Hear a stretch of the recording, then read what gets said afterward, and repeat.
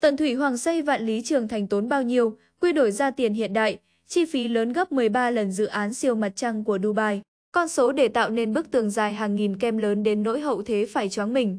Nhắc tới công trình kiến trúc tiêu biểu nhất của Trung Quốc, phần lớn mọi người đều liên tưởng ngay tới vạn lý trường thành.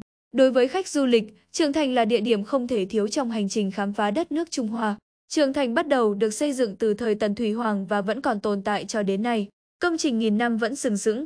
Vạn Lý Trường Thành được xây dựng chủ yếu bằng đất và đá từ thế kỷ thứ 5 trung cấp nghề cho tới thế kỷ 16. Trong đó nổi tiếng nhất phần tường do vị hoàng đế đầu tiên của Trung Quốc là Tần Thủy Hoàng ra lệnh xây từ năm 220 trung cấp nghề, 200 trung cấp nghề. Trong lịch sử, miền Bắc Trung Quốc trước kia có nhiều bộ lạc du mục sinh sống như người Hung Nô, Mông Cổ họ thường xâm nhập vào Trung Nguyên để cướp bóc, tàn phá. Do đó, thế lực này luôn là một mối đe dọa nghiêm trọng và thường trực đối với người Hán ở Trung Nguyên. Để người dân được sống yên ổn từ thời chiến quốc, những nước có biên giới phía Bắc như Tần, Triệu, Yên đã phải xây dựng tường thành để ngăn chặn những bộ lạc du mục này hoành hành. Sau này khi Tần Thủy Hoàng tiêu diệt sáu nước chư hầu và thống nhất Trung Quốc, ông đã cho xây thêm và nối liền những bức tường thành của ba nước thành Vạn Lý Trường Thành. Khi ông nghĩ ra ý tưởng này, đã có không ít người lên tiếng phản đối, vì việc xây dựng trường thành cần tiêu tốn rất nhiều tài lực và nhân lực. Cái giá quả thực quá lớn. Vạn Lý Trường Thành có chiều dài hơn 8.000 km bao gồm cả tường thành do con người xây dựng và tường hào trên rào chắn tự nhiên. Trong suốt hơn 2.000 năm xây dựng, Vạn Lý Trường Thành đã chứng kiến sự thịnh suy, thăng trầm của biết bao triều đại Trung Hoa. Năm 1987, UNESCO công nhận Vạn Lý Trường Thành của Trung Quốc là di sản thế giới. Bức trường thành sau hai thiên niên kỷ vẫn uy nghi, sừng sững ở đó như một người cận vệ trung thành, chứng kiến lịch sử Trung Quốc xoay vần.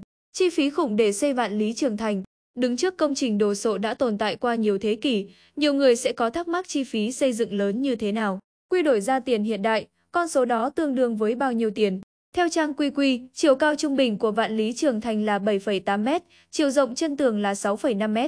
Về cơ bản, công trình này được xây dựng bằng gạch xanh và vữa xám. Ước tính, người ta cần khoảng 6.000 viên gạch xanh và 7 mét khối vữa xám để xây dựng một bức tường thành dài 1 mét. Một viên gạch xanh có giá 4 nhân dân tệ, trong khi đó một mét khối vữa có giá khoảng 400 nhân dân tệ chi phí máy móc và quản lý khoảng 2.000 nhân dân tệ cùng với tiền trả cho nhân công khoảng 30.000 nhân dân tệ. Như vậy, trung bình tiền xây dựng một bức tường dài 1 mét sẽ rơi vào khoảng khoảng 60.000 nhân dân tệ. Riêng tiền xây dựng bức tường dài hơn 6.000 km đã tốn hơn 360 tỷ nhân dân tệ. Chưa kể, Vạn Lý Trường Thành có tổng cộng 60.000 tháp canh. Đây là một khoản chi phí không nhỏ. Mỗi tháp canh giá khoảng 200.000 nhân dân tệ, 60.000 tháp canh là 12 tỷ nhân dân tệ bên cạnh đó. Tần Thủy Hoàng còn đầu tư cho những tuyến đường quan trọng như Sơn Hải Quan và Gia Dục Quan, ước tính hết gần 100 tỷ nhân dân tệ. Theo tính toán, toàn bộ vạn lý trường thành sẽ tiêu tốn khoảng 472 tỷ nhân dân tệ, khoảng 68,6 tỷ USD đối với hiện nay, con số này đủ để xây một siêu dự án. Để dễ hình dung, dự án mới đây nhất mang siêu mặt trăng về Dubai tiêu tốn khoảng 5 triệu USD có thể thấy. Số tiền xây dựng vạn lý trường thành lớn gấp 13 lần công trình ở Dubai.